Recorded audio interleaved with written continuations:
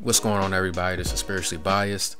I've been away for a while, but as of now, I feel led to come back and create a few more videos. And the series that um, I'm working on currently is called Why I Never Left Christianity. Now, in my time of browsing through YouTube, I come across videos as far as why people leave. You know, and there are many different reasons that they come up with. But um, as far as their experiences, hey, it is what it is. But when it comes to um, the stereotypes, when it comes to the supposed contradictions, and just a wide array of things, I think it's time for people to see why uh, people stay. You know, some of the reasons that these people give are very inaccurate, uh, especially as it, it, as it pertains to the Bible and the things that they state that are in it, and you know things such as slavery and, and that the Bible is responsible for uh, oppression. There's a, a number of topics that we're gonna go over in this in this series concerning this. But uh, as for now, um, I felt led to make this series because I think people need to hear it. I think people need to see it. And I really think people need to see Christianity for what it really is and not see it for the stereotypes, not see it for what somebody and their mama said it was, but for people to really see what it is. And pretty much this series is going to uncover. It's going to uncover the stereotypes. It's going to uncover, you know, the, the propaganda as far as what people think it is or what they, they say it is. Is we're going to prove that many of these things are our opinions and we're pretty much going to uncover what Christianity is through exposing these things. So if, as always, those of you that have been with me since day one and looked at my videos, um, once again, you know, it's going to be a, a, series where you're going to learn a lot of stuff from. Um, so without further ado, let's go ahead and get into it. Hey everybody. Uh, I put up a post yesterday on Facebook um, that said, What if the Bible is not the Word of God? Needless to say, people were um, appalled by it, uh, disgusted even. I'm quoting them, okay? They say they've seen me preach, they have seen me cry, they have seen me minister, they have seen me with my hands raised, loving Jesus. And that's true. I was a preacher, I was a minister, I was a dancer, all these things. I was a gospel rapper. But if I can do all these things and you witness my sincerity while I, while I was doing these things, don't you think I must have came across something sincere? Something that's so valid that it shook my belief, even when I didn't want it to. So you say you're going to pray for me. You don't think I've prayed? You don't think I begged this Jesus I grew up believing in to just show me the validity? You don't think I researched and tried to prove that this Bible was no doubt the inspired word of God? I tried, and it's just not true. Okay? I now know that without a shadow of a doubt, the Bible was manufactured for control. I understand this. You don't, and that's okay. So you have a right to be upset because you've never been told these things. I am a teacher. My job is to teach you things you don't already know. Now, what you have to understand is this. If I say something that is outside of your realm of knowledge, okay, look it up. Don't just get mad at me and tell me I'm wrong and tell me, well, I have personal experiences you don't even know where I'm coming from. Well, I've done all the research you've done. No, you haven't. You may think you have, but until you sit down and have a real conversation with me, you will never know where I'm coming from. So when I tell you I believe in God, I do. But when I tell you I don't believe in the Bible or any character in the Bible, any, all of them are fake. All of them are manufactured. None of them ever existed historically. Now, understand where I'm coming from because I'm trying to make this video short. On one platform, you have literature, spiritual literature. This is where you get Jacob, John, Matthew, Mark, Luke, Jesus, Judah, okay, Daniel, Ruth, all these names, literature on a historical platform where you're looking to see if things actually existed, if the world truly was ended by water. These things never happened. So, so I thought that in the beginning the world was dark and the null and void, and God looked at the face of the earth and, and informed all these things and then said they were good. But then later on in the Bible, he regretted making man. But we say God don't make mistakes. Listen, there's no way you're going to convince me that this God that you believe in who inspired, so-called inspired the word of God, is okay with slavery. There's no way. When your Bible teaches you that slavery is okay, that what our ancestors went through is okay with God, then I have a problem. Okay. So, first things first, we want to talk about uh, the proof or evidence of people in the Bible actually existing. Now, granted, we're not going to waste time trying to go throughout the whole Bible proving everyone's existence, but all we should need is just a few people. Okay, so let's start. This is Genesis chapter 49, verse 29 is where we're going to start. And he charged them and said unto them, I am to be gathered unto my people. Bury me with my fathers in a cave that is in the field of Ephron the Hittite, in the cave that is in the field of Machpelah, which is before Mamre, in the land of Canaan, which Abraham bought with the field of Ephron the Hittite for a possession of a burying place. There they buried Abraham and Sarah his wife. There they buried Isaac and Rebekah his wife, and there I buried Leah. The purchase of the field and of the cave that is therein was from the children of Heth. And when Jacob had made an end of commanding his sons, he gathered up his feet into the bed and yielded up the ghost and was gathered unto his people. So that's Jacob right there. All right. So this is Jewish Virtual Library, uh, their website. And we're going to do a little reading on the, the tomb of the patriarchs in Hebron. Okay. So the cave of Machpelah is the world's most ancient Jewish site and the second holiest place for the Jewish people, after Temple Mount in Jerusalem. The cave and the adjoining field were purchased at full market price by Abraham some 3,700 years ago. Abraham, Isaac, Jacob, Sarah, Rebekah, and Leah are all later buried in the same cave of Machpelah. These are considered the patriarchs and matriarchs of a Jewish people. The only one who is missing is Rachel, who was buried near Bethlehem, where she died in childbirth. The double cave, a mystery of thousands of years, was uncovered several years ago beneath a massive building, revealing artifacts from the early Israelite period some 30 centuries ago. The structure was built during the Second Temple period about 2,000 years ago by Herod, king of Judea, providing a place for gatherings and Jewish prayers at the graves of the patriarchs. This uniquely impressive building is the only one that stands intact and still fulfills its original function after, after thousands of years. Foreign conquerors and invaders used the site for their own purposes, depending on their religious orientation. The Byzantines and Crusaders transformed it into a church, and the Muslims rendered it a mosque. And this mosque is called Haram al Khalil. About 700 years ago, the Muslim Mam Mamluks conquered Hebron, declared the structure a mosque, and forbade entry to Jews who were not allowed past the seventh step on a staircase outside the building. Upon the liberation of Hebron in 1967, the chief rabbi of the Israel Defense Forces the late Major General Rabbi Shlomo Goren was the first Jew to enter the cave of Machpelah. Since then, Jews have been struggling to regain their prayer rights at the site, still run by the Muslim religious trust that took control during the Arab conquest.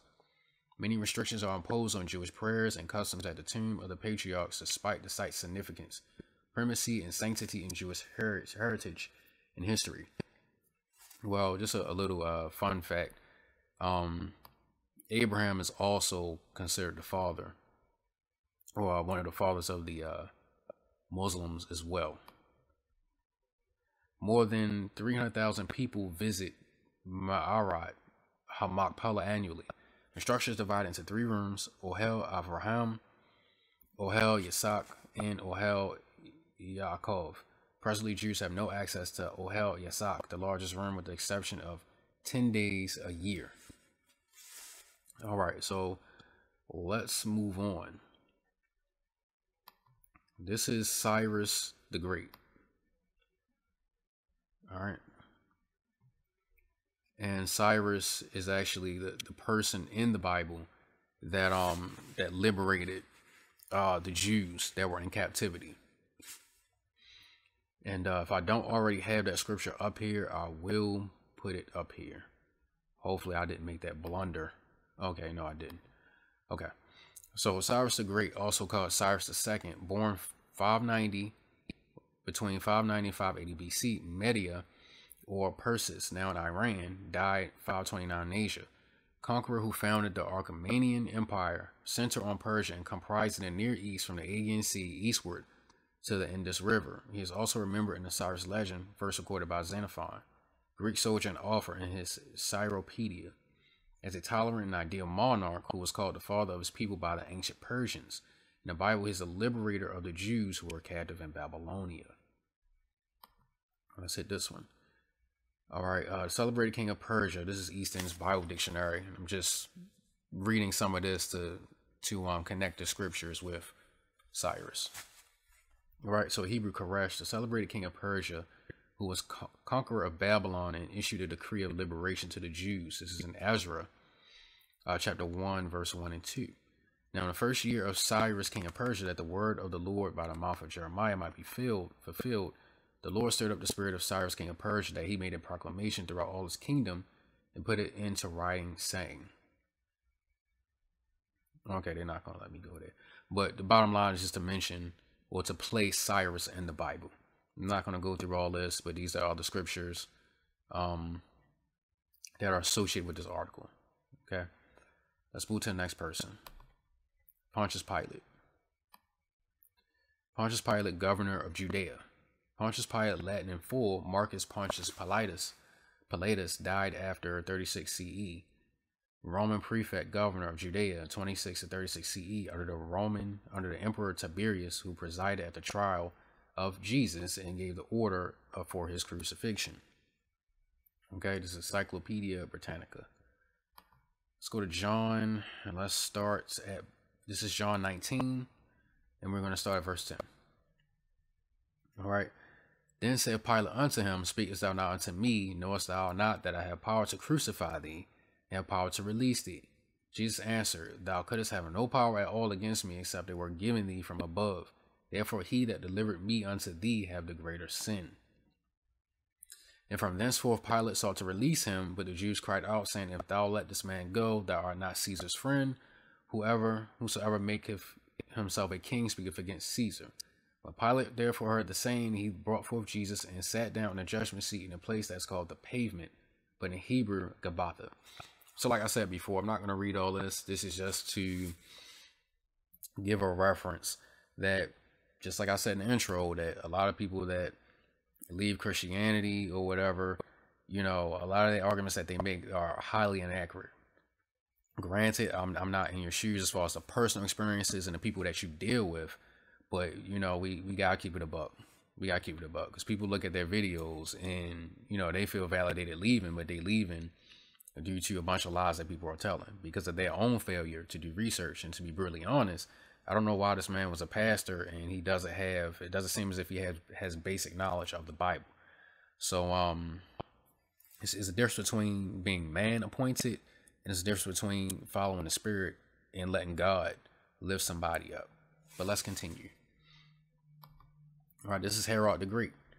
Herod, also known as Herod the Great and Herod the First, was a Roman client king of Judea, referred to as the Herodian kingdom. Okay, Herod, biography and facts, Britannica. Like I said before, we're not going gonna rabbit chase. We're just gonna do what's enough. We're gonna do what's enough. Then we're gonna go from there. All right. This is Matthew chapter 2, verse 16. Then Herod, when he saw that he was mocked of the wise men, was exceeding wroth and sent forth and slew all the children that were in Bethlehem and in all the coasts thereof from two years old and under according to the time when she had diligently inquired of the wise men. So, just to give a little insight or foreground, Herod was pretty much peed at the wise men because Herod inquired of the wise men where Jesus was. The wise men came to worship the king, as they referred to Jesus as. All right, so Herod tried to be slick and try to inquire of them as if he wanted to worship him, but he actually wanted to kill him. So the Lord had um, advised the wise men not to go back to Herod, pretty much. All right, so Herod, not only was he angry, but he was very paranoid and felt threatened that this Jesus was going to come for his throne, in which Jesus was not trying to do. Okay, so this is why all this this slaughter happened. Verse 17, then was fulfilled that which was spoken by Jeremiah the prophet, saying, In Ramah was there a voice heard, lamentation and weeping and great mourning, Rachel weeping for her children, and would not be comforted because they are not. So this act that happened was prophesied year, many, many, many years ago before it happened by the prophet Jeremiah. Let's continue. Okay, we're going to read Um, this from Everett Ferguson. Everett Ferguson is a reliable author who writes the following. Let's read. Though it may be true that Herod was an extremely able ruler, it is also true that he was intensely jealous of his position. He killed the two sons of Miriam, Miriam, Miriam, whatever, when his suspicions were aroused that they might become the rallying point for Jewish patriotism. Marion herself was killed when his mom was poisoned against her by his sister. A man who killed a large part of his own family and arrested large numbers of the most prominent citizens with orders for their execution when he died, so there would be mourning at his death. Okay, this is Josephus, Antiquity of the Jews, 17.6, 17.6.5. Okay, would not have caused much of a stir by liquidating a score of children in an obscure village.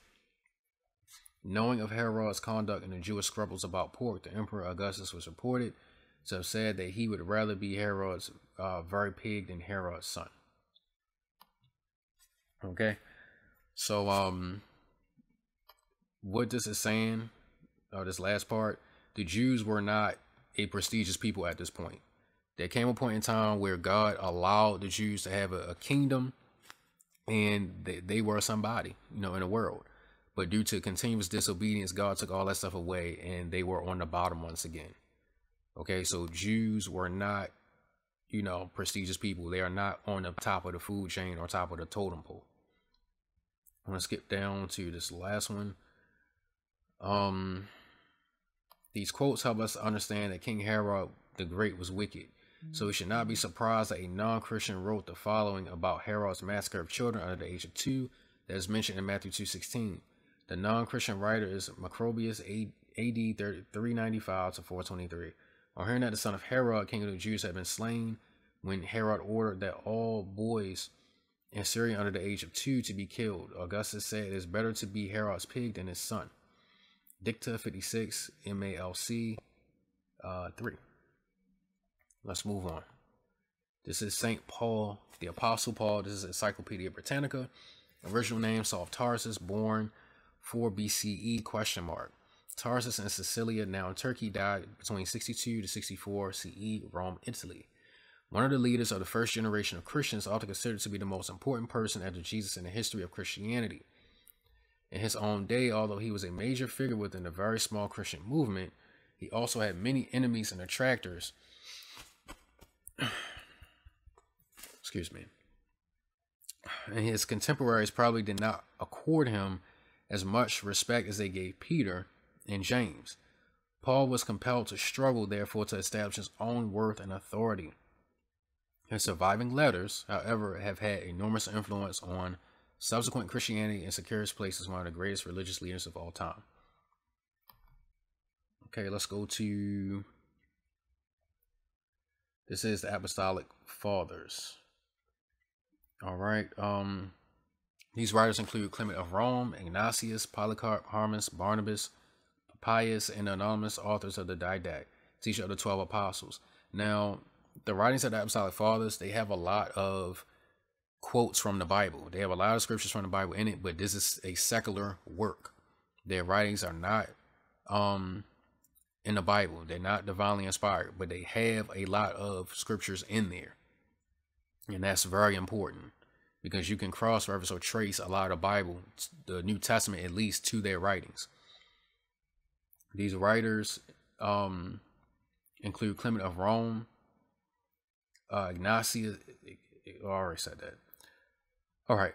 Teaching the 12 Apostles, letter to Diognetus, letter of Barnabas, and the martyrdom of Polycarp. Now, everything written by the Apostolic Fathers is considered to be equally valuable theologically, is what I stated. By taken as a whole, their writings are more valued historically, that's very important, than any other Christian literature outside the New Testament. They provide a bridge between it and the more fully developed Christianity of the late second century. And that's what I was part of what I was talking about of how the biblical writings that came before them, they use a lot of those scriptures and their writings. All right. Let's start with Antioch, uh, Ignatius of Antioch. Ignatius of Antioch, also known as Theophorus from the Greek for God bearer, was bishop of Antioch. He may have known Apostle John directly, and his thought is certainly influenced by the tradition associated with this apostle. En route to his martyrdom in Rome, Ignatius wrote a series of letters which have been preserved as the example of the theology of the earliest Christians. Important topics addressed in these letters include ecclesiology, the sacraments, the role of bishops, and the nature of biblical Sabbath. Granted, once again, their writings are not um, not biblical. We're using these people for um or divinely inspired. We're using these people for a um, historical basis. He clearly identifies the local church hierarchy composed of bishop, presbyters, and deacons and claims to have spoken in some of the churches through the inspiration of the Holy Spirit. He is the second he is the second after Clement to mention the Pauline epistles, okay? So these people are secular people. All right? They're not they're not of of the Bible. But this guy who is secular mentions the second of the apostolic fathers to mention the Pauline epistles. Okay, so they have to be real. they have to be real. All right. So next, I want to talk about the um. We can talk about this. He says he's referring to the Bible talking about God made everything and everything was good, but then the Bible says he repented. And to me, it's like sometimes I just wonder, like, are these people doing any real research? And of course, the answer is no. But I just these people lead me to ask a whole bunch of questions. But we have to realize that the Old Testament was written in Hebrew. Hebrew language is not English language, let alone King James language. Okay. So the King James was taken from the Hebrew.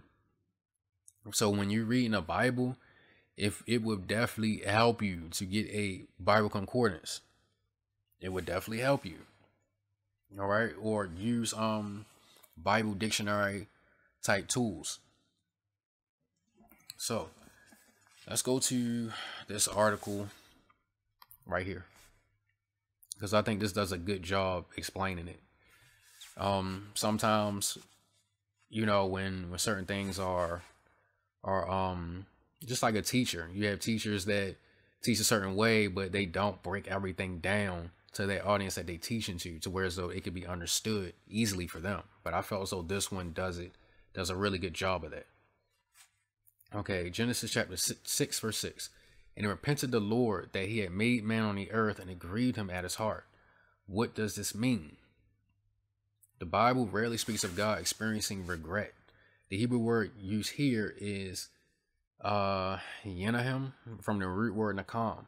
The word is exclusively about emotions, a pain, a feeling, sadness, or unhappiness. The word does not imply that God feels he has made a mistake.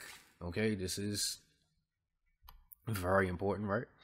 Or that he wishes to have done differently. It is possible to experience grief and regret as it is possible to experience grief and regret as you hear without implying an error. Any parent who has held a crying, upset child as they receive a shot has experienced exactly that. Such a parent is grieved over the pain but has no illusions that this was the wrong decision. However, this verse does not mean this verse does mean God is unhappy with the current state of man. This is a low point in the history of humanity. God is troubled, he is grieved or pained by the outcome of his act of creation. The men and women, however, do not grieve their own sin. They do not repent. God's grief stands in great contrast to that of his creatures, who blindly continue to indulge in every sinful thought, action, and word that begins in their hearts and minds. Left alone, the evil of man will eventually overtake the entire race, and there will be no godly people left. There will be no line to produce the already promised Messiah. Genesis 3:15, God will not let the earth go on like this indefinitely.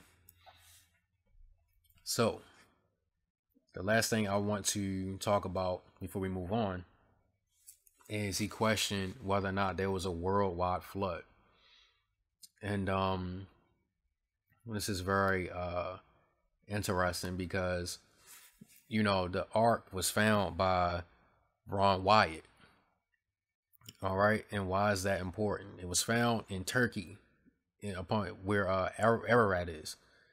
All right, why is this important? Let's go to um Genesis chapter 6 verse 14. Make thee an ark of gopher wood, rooms that shall make Thou shalt make an ark and shall pitch it in with with and without within and without with pitch. All right. So we just want to link that that God told him to make a um an ark. So this is Genesis chapter 8. Let's go to verse 4. And the ark rested in the seventh month on the 17th day of the month upon the mountains of Ararat. So Ron Wyatt found the ark in the same region or the same area that the Bible said that it rested. So um on top of that, this thing was was not done in a corner. This was not a thing that Ron Wyatt did by itself and just took a, a camera crew and say, well, voila, this is it. All right, Ron Wyatt was a, a Christian archaeologist and he found a lot of uh, archaeological findings of biblical happenings, of biblical events that, of course, that took place in the Bible. Now, the the uh, Prime Minister of Turkey came out and and uh, you know did that little celebration, whatever. But this was honored or uh, given acclaim by the uh, Prime Minister of Turkey. So let's move forward. So when you look back and you see where this book came from, it all started 325 AD. The Council of Nicaea wrote this whole book, put all these characters in it, used some uh, Egyptian type uh, theologies, not theologies, but Egyptian type um, astrology, I should call it, um, to, to form the, the character of a lot of the people that's in this Bible. So yeah, they were plagiarized, but um, they were never intended to be gods. Okay, Africans didn't truly believe that somebody died and rose again. They did not believe that. So it's just funny to me how, you know, we're taught all our lives that Egypt had slaves, and then we find out historically they didn't. Listen, we're being lied to. At some point, we have to use common sense that the same people who stole us from our land, raped our ancestors, hung us, why would they give us a book that would benefit us, set us free? Why would they do that? They would not. Okay, so you say I'm not religious. Well, why do you practice Christianity? Because Jesus was a Jew. Christianity was not created until 325 AD at the Council of Nicaea, which was several years after Jesus had supposedly lived and died anyway. Jesus wouldn't even know what Christianity is. He didn't practice it. It didn't exist when he did. So why do you celebrate Christianity? All right. So I'll I'll go ahead and make this statement. Anything involving slavery, it won't be talked about in this video because I'll make another video where I will expound on topics dealing with slavery. So he makes the comment that Christianity started at the Council of Nicaea. And that's funny because the Council of Nicaea did not start until AD 325. And why is this interesting? Because all the books in the Bible were already written before 100 AD. So the time is is very well off in that sense. So that's something that he's wrong about. Also, let's go to Acts 11:26. It says, "And when he had found him, he brought him unto Antioch. And it came to pass that a whole year they assembled themselves with the church and taught much people, and the disciples were called Christians first at Antioch." Okay. So, when was the book of Acts written? All right, so here it's estimated to be written between 80 70 and 80 90.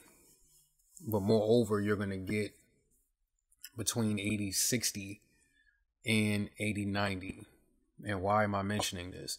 I am mentioning this because it's between 80 60 and AD 90, meaning no later than uh, 90 AD.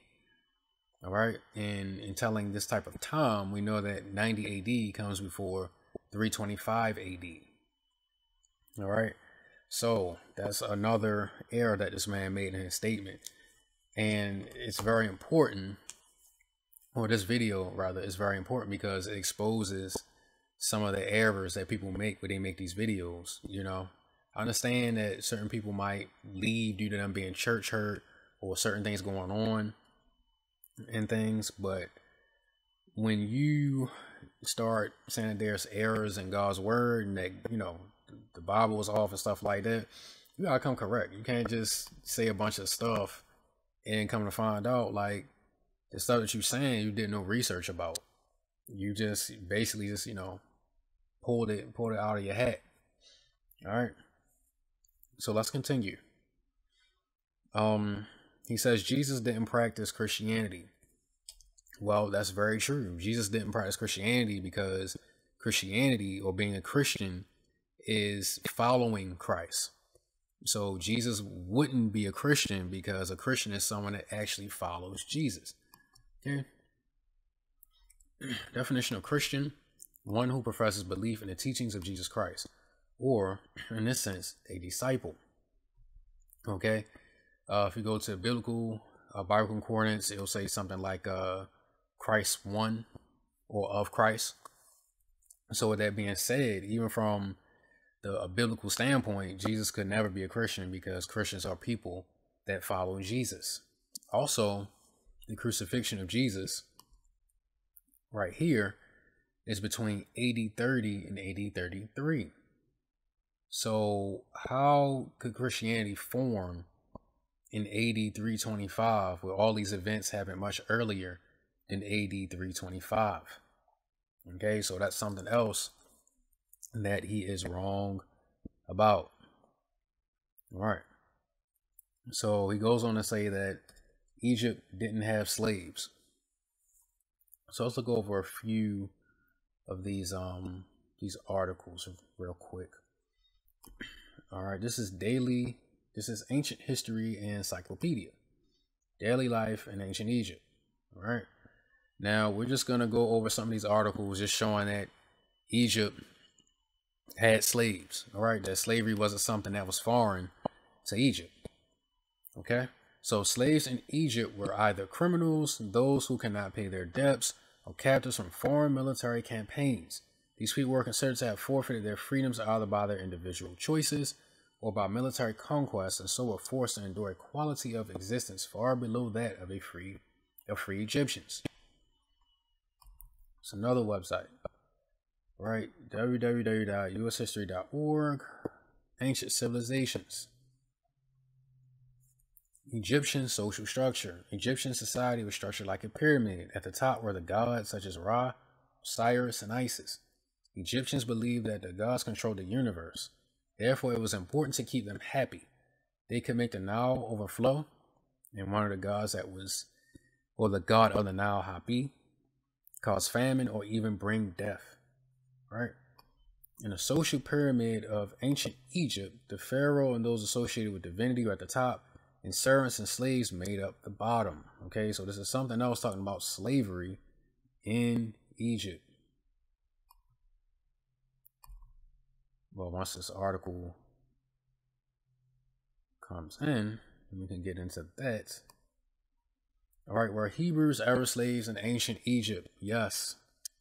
And for the sake of time, I want to try to go ahead and hit some uh strong points and not ramble and you know deal with deal with things I don't really desire to deal with. All right, this is start right here. Other Egyptian papyruses, Anastasi, Anastasi three and four discuss using straws in mud bricks as mentioned in Exodus five seven. You must not gather straw to give to the people to make bricks as formerly. Let themselves go and gather straw for themselves. All right.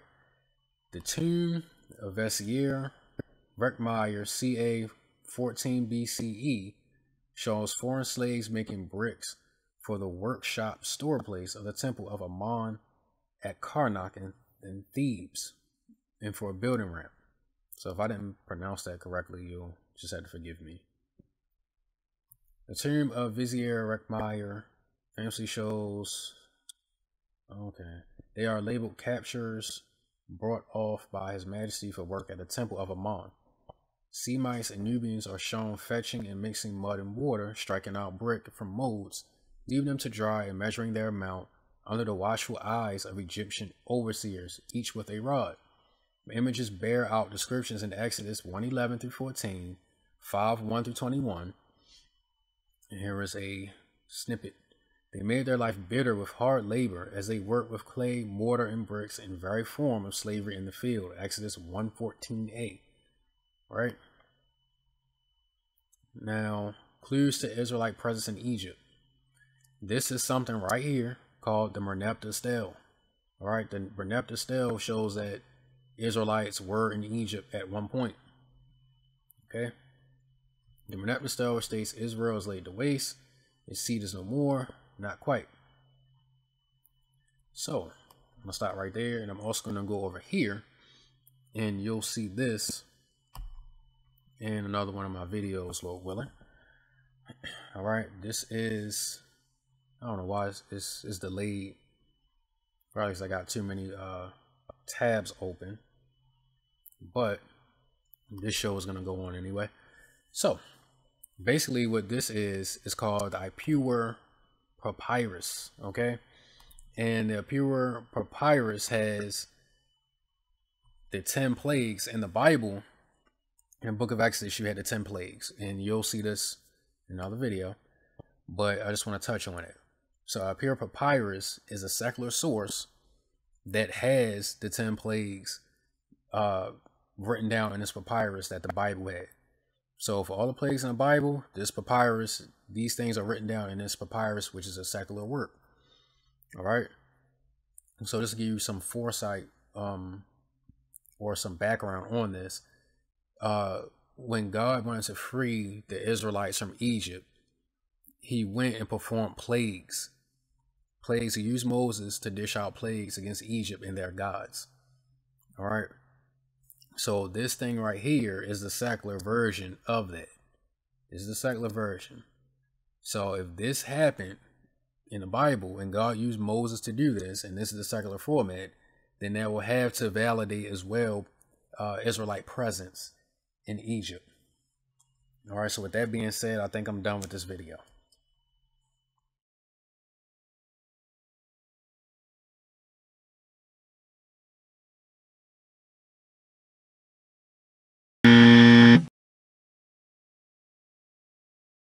Number 1. Christianity is stupid because it has people thinking that they can raise a Satan's dumpster load of hell on the earth and that all they have to do is say, Jesus forgive me.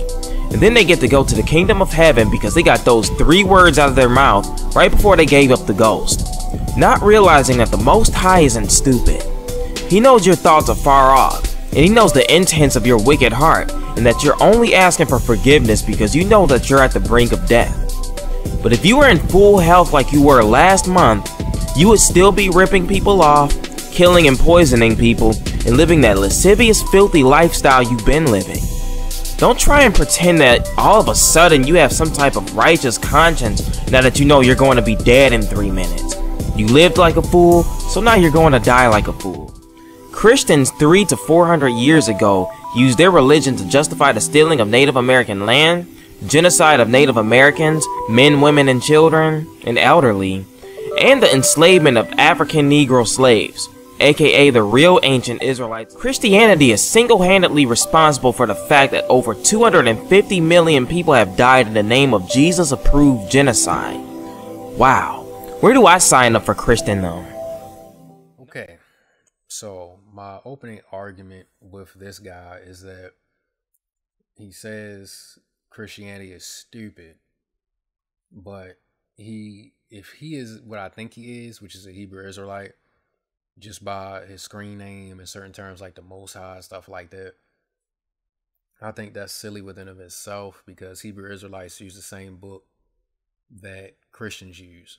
So if you were to say that Christianity is stupid, then you had to say Hebrew Israelite doctrine is stupid as well because both of you are reading out of the same book. All right, so I want to start with uh, forgiveness. And basically, what he's saying is that people that we as Christians believe that someone could just go around and do what they want to do and then just say, Oh God, forgive me, and they would go to heaven. Uh, I'll reiterate this again. um, Christians read out of the Bible. So the Bible is the source and overall authority for what we believe and what we do. Okay, so there's no scripture in the Bible uh backing that up. So let's go to Second Timothy chapter 2, verse 25. In meekness instructing those that oppose themselves, if God peradventure will give them repentance to the acknowledging of the truth.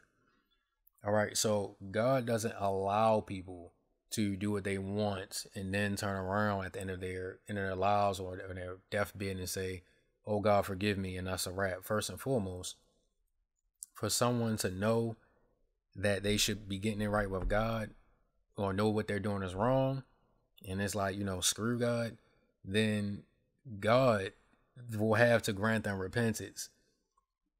God, as the scripture says, God is not mocked. God will never allow that that to happen where someone will do what they want and then come back to God when they want to. It, it doesn't work that way. As the scriptures say here, God has to grant them repentance. All right, let's go to I'm gonna go to this next. Hebrews 12, 17. For ye know how that afterward when he, talking about Esau, would have inherited the blessing, he was rejected, for he found no place of repentance, though he sought it carefully with tears. Now, in a, another place in the Bible, it refers to Esau as profane and a fornicator. Okay, not things of God, or not mannerisms or character of, of a godly man. But here, it's talking about Esau when he forfeited his birthright. He didn't value his birthright. Right, so he just gave it up. Whatever. Here, Jacob, take it. But it, the scripture clearly says, For he found no place of repentance, though he sought it carefully with tears. So he did what he wanted to do, and look, it it was done. It was done. He found no place of repentance. He he couldn't get that thing back. Let's go to Romans chapter 1. Verse 21 Because that when they knew God, they glorified him not as God, neither were thankful, but became vain in their imaginations, and their foolish heart was darkened. Skip down to 28. And even as they did not like to retain God in their knowledge, God gave them over to a reprobate mind to do those things which are not convenient. When you have people that that can sit and feel as though they can play God, um, play God or play with God, God will give you over. If God is trying to reach you and things like that, and you just say the heck with it, God will allow you to do your own thing. God will allow you to go out there and then be become overcome with sin and whatever. And um he will allow it to happen. He will. I'm not gonna break all that completely down. I'll be chasing a rabbit. But um even in First Corinthians, I believe it was chapter five, where one of the members were sleeping or having sex with his father's wife. All right, and Paul said, Cast such a one unto Satan for the destruction of the flesh not for the destruction of his body, but destruction of that sinful nature in that person. So basically, have excommunicate that person. And to be honest, God will, will excommunicate you in certain senses.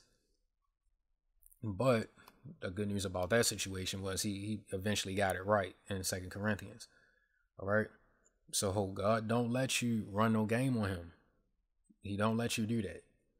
All right, let's go to the next thing he says that christianity was birthed out of um it was birthed out of genocide and once again um in one part of the video he was saying instead of going to church why don't you stay at home and read your bible no you, no man you need to read your bible you need to read yours because everything i'm giving is bible but you're you're not giving that so i don't know where this guy got his information from whatever, you know, but a lot of Hebrew Israelites are hostile towards Christians anyway.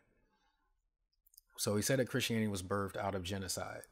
Now, I, will make a video going into detail about that stuff, but I'm going to touch a little bit on it right now. So it seems like people, when certain people do their research on certain stuff, they come across as like the scholar, you know, like they own it. But when it comes to certain other things, it's like when it comes to certain other things, it's like the research ain't as strong. The research game ain't strong at all. Um, for example, you have people in our time that have led cults, like uh, Jim Jones, for example. They said that what he was doing was of God. And in the end, he went and spiked the Kool Aid or whatever. Spiked the Kool Aid with cyanide and killed numerous people. But he said he was doing the work of God. Right? Here's the thing you can't blame God for what Jim Jones did, although he said he did it in the name of God. Okay? So, likewise, if Jesus didn't say do this, if going around, if Jesus didn't say spread my gospel through killing people, then you can't blame Jesus for that. But you have a lot of people that drink the Kool Aid and say, yeah, you know what? Because this person said they did it in Jesus' name, they blame the Bible and say the Bible was uh the Bible validates that, in which it doesn't. So I'll give another example. If I walk into a movie theater and I kill 30 people and I said I did it in your name, whatever your name is, listener, you know your name. Should I go to jail for that or should you go to jail for that? Should you go to jail because I walked in a movie theater, killed 30 people, and said I did it in your name? Should you go to jail for that? And I mean, that's that's rhetorical, by the way. That's very rhetorical. Because let the cops come knocking at your door saying, all right, we taking you to jail. First thing you're going to say, well, but I didn't do that. Okay, well, Jesus didn't do that. And not only did Jesus not do that, Jesus didn't co sign it or tell people to do that. All right? And the reason why we know that, once again, we got to read the word. Stop just going around believing stuff that, that people say just because. You're just taking people word for it. Look for the receipts. Now, in the Bible, Jesus himself was crucified. So if Jesus is the quote unquote poster boy of the Bible, and he himself took upon the sins of the world and was crucified, in the description of the Bible where Jesus said that if I wanted to call my angels, I could call my angels to get me back up and to overthrow Pilate and overthrow all these other dignitaries. But he didn't do that. He came as a suffering servant. So if he came as a suffering servant, how is Christianity birthed out of genocide?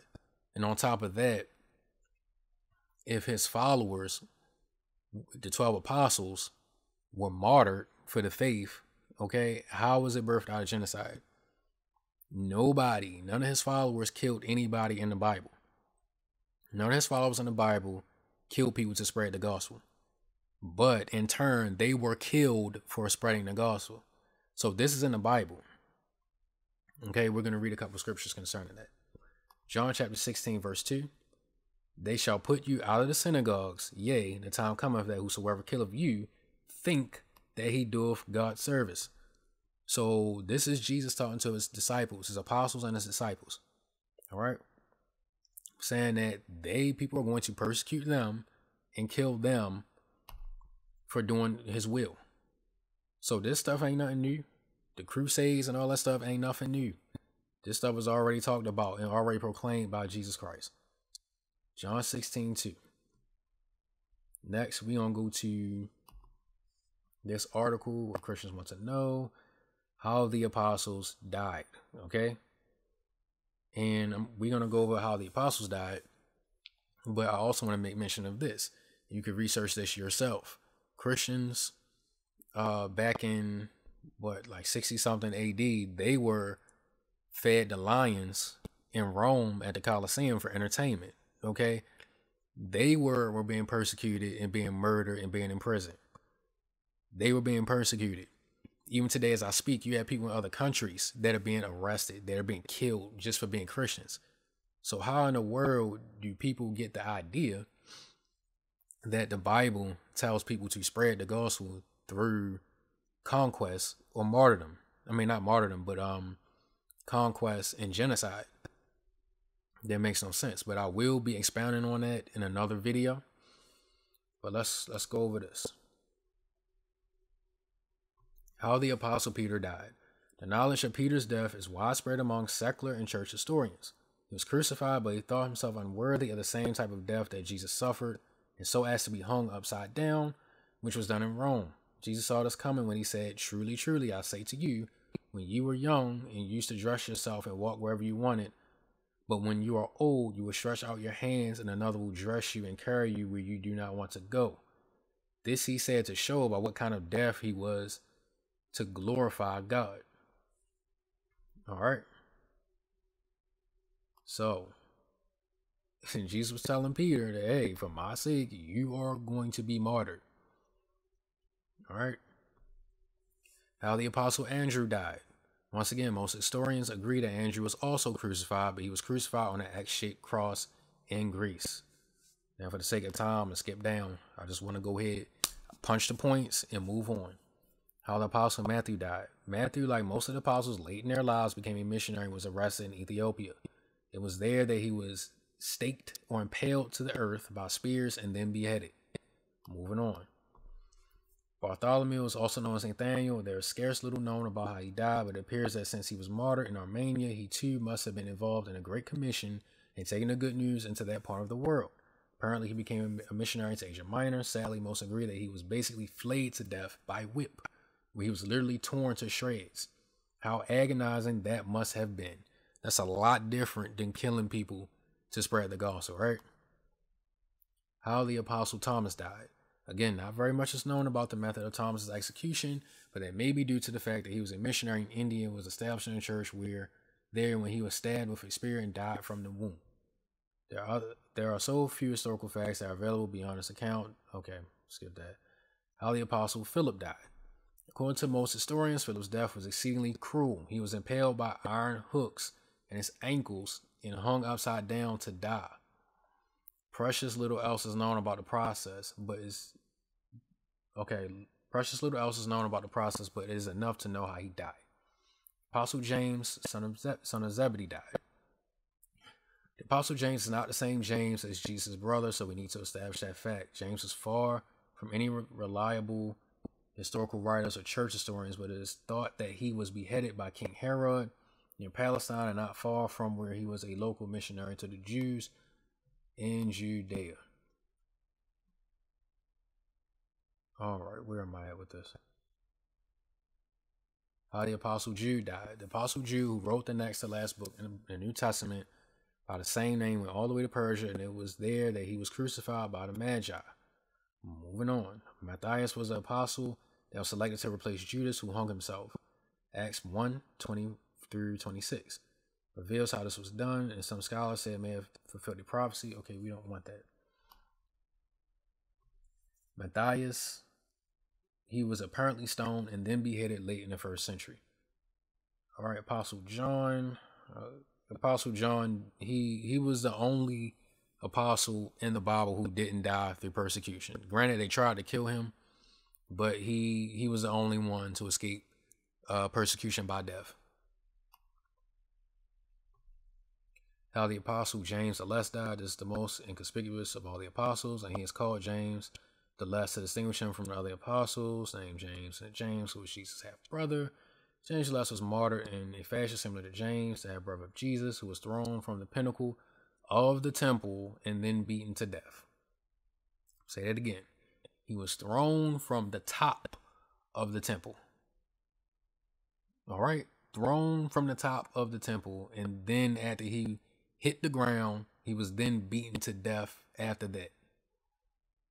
The Apostle Simon is not Simon Peter and true brother, but Simon the Zealot. Once again, very little is known about him inside or outside the Bible. All that is known about his death is that he was also crucified. Right, I'm gonna do this last one. I don't think I'm gonna read this, but um, I'll just say this: Paul, it's right here, but Paul was beheaded. Okay, he was ordered by capital punishment to be beheaded. All right, so what we clearly see see here is that the gospel was spread through them being persecuted. And even if you read the book of Acts, when Saul, uh, before he became Paul, was persecuting the Christians, it caused them to scatter and to go into different regions and different areas spreading the gospel. So the gospel was spread through them being persecuted, not them persecuting other people. This is Bible. And like I said before, I'm gonna put another video out um going into detail, uh further detail about that, but Christianity apparently here was not started through genocide. It's complete opposite. Men risked their lives and they, they paid the ultimate price from uh, spreading the gospel of Jesus Christ. So let's move on.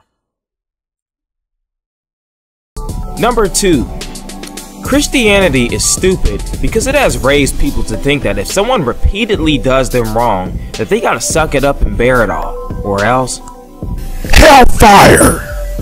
You didn't forgive that guy that tied you up in his basement and raped you and beat the living crap out of you until you couldn't move every day up until the day you escaped.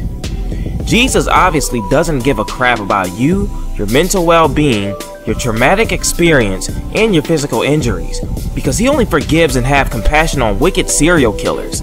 So Jesus is going to look at the very first reason as to why Christianity is stupid in this here video, and he's going to forgive the guy that raped and tortured you, but he ain't gonna forgive you for not forgiving him. Makes sense, huh? Number 3. Christianity is stupid because it's based off of fraudulent so-called facts that are really lies.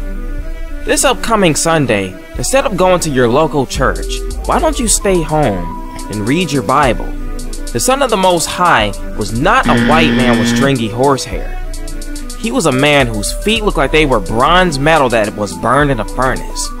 Also, consider the fact that without sunscreen in the hot wilderness, white people tend to get overly sunburned and baked like a pot pie in the sun.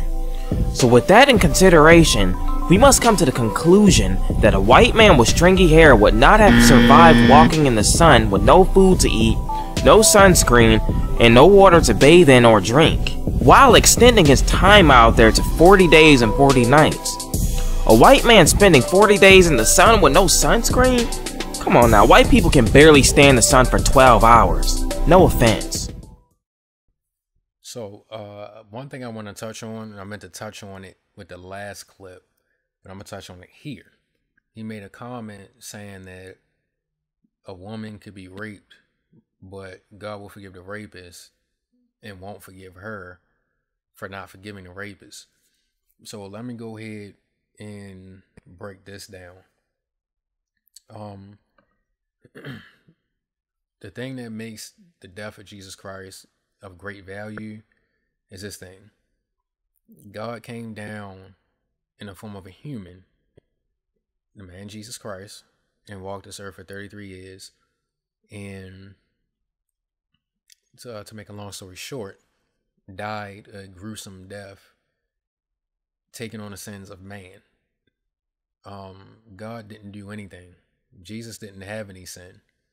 You see what I'm saying? But yet he took your punishment, your sin that you should be judged for, and took it upon himself. All right. So Jesus is the type to lead by example. It's not a do as I say, not as I do. He went by example.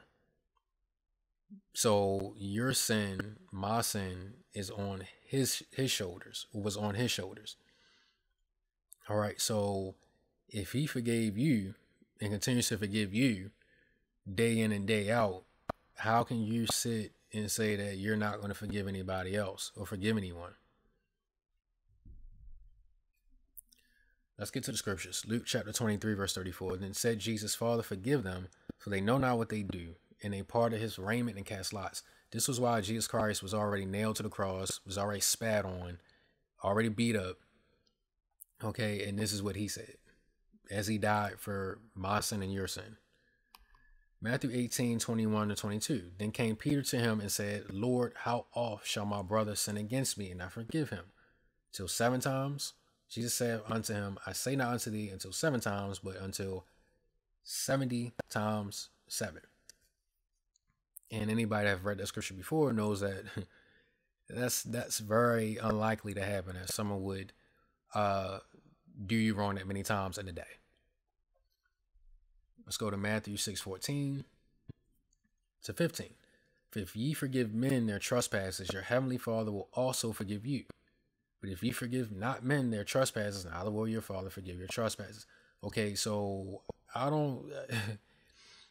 I'm just like a little puzzle because this stuff, once again, Christians and Hebrew Israelites read out of the same book. Granted, you have Hebrew Israelites that read spurious books such as the Apocrypha and things like that, which Christians don't read, but they both read the Bible. So this is in my book just as well as it's in your book. So why are you saying that this is stupid if you believe what you believe? But anyway, moving on. So let's address the whole white Jesus thing.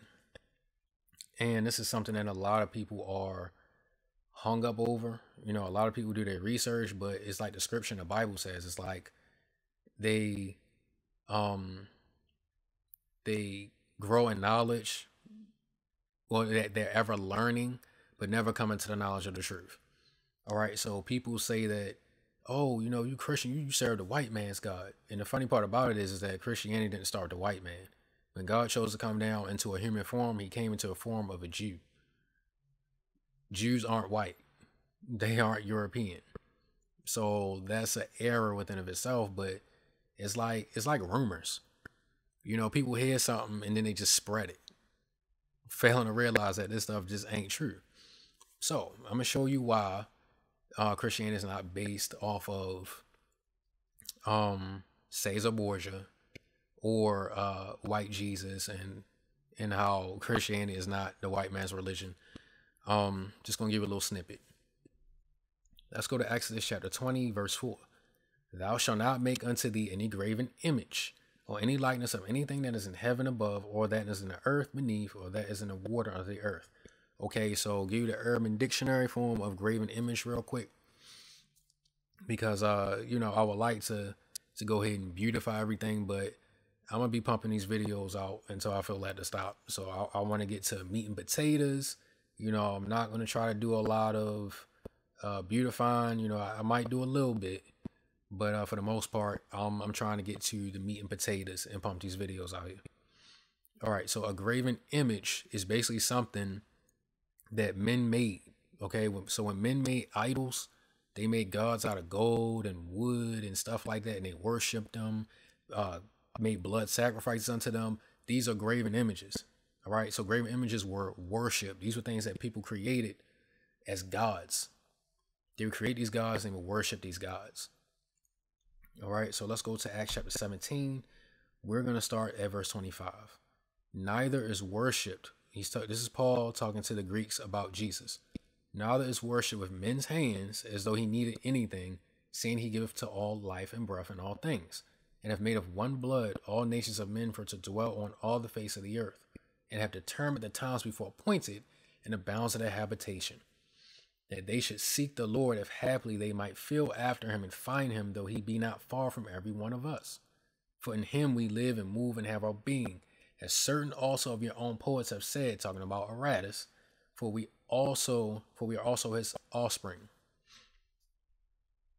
Verse 29 For as much then as we are the offspring of God, we ought not to think that the Godhead is like unto gold or silver or stone. Wait for it. Wait for it. I'm going to highlight this. Graven by art in man's device. So this picture of white Jesus is a graven image by art. It's a graven image. So the Bible is saying that it is a sin to make a graven image, and granted, the people that was mainly doing this graven image stuff were the heathen nations. Were they called heathens because they weren't Jews? No, they were called heathens for the type of sins that they were performing that was national. Them as a people would participate in.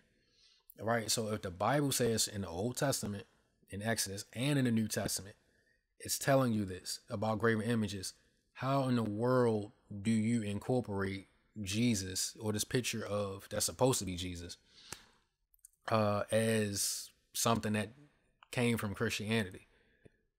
Where Christians go off of the Bible and the Bible says that you shouldn't make graven images. That's a sin. All right. So I don't think I have anything else that I want to talk about concerning this video. I think this video is um is about done. I think I said enough about it.